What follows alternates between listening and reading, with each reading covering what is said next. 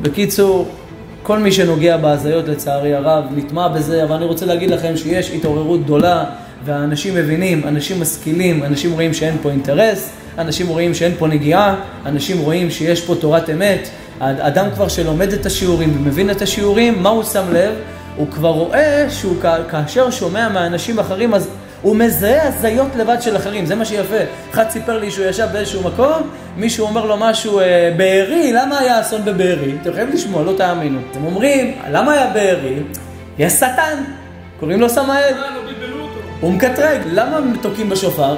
כי הם מבלבלים את השטן, זאת אומרת, לא מספיק שהוא ישות מכוערת ומחטיאה את האדם ושוכב עם לילית ומתגרה בחווה, לא מספיק, אלא הוא גם מטומטם, שמכל שופר הוא מתבלבל.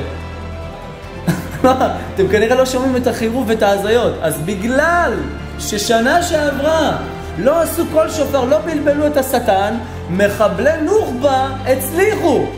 זאת אומרת, הוא שלט על מחבלי נוח'בה וגם שלח אותם. תקשיבו, אני אומר לכם, זה, זה לא דת, זה סכלות. זה דת השם, לא פלא שאנשים, גם אלה שמתקרבים, ממשיכים לראות כדורגל, ממשיכים להיות במועדונים, הרי כל הכתות האלה שנולדו בעם ישראל